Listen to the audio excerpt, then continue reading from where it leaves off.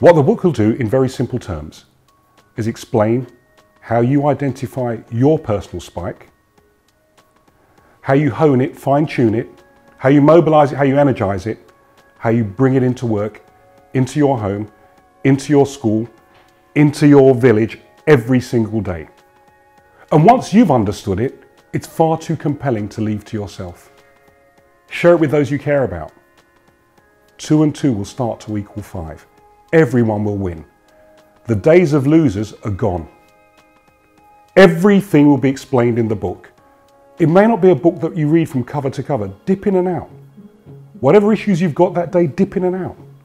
There'll be something there for you. It's written in a very simple, jargon free language. Everyone can understand it. Everyone will benefit from it. Everyone will practice the exercises in there. Everyone will have a spike. Everyone will win.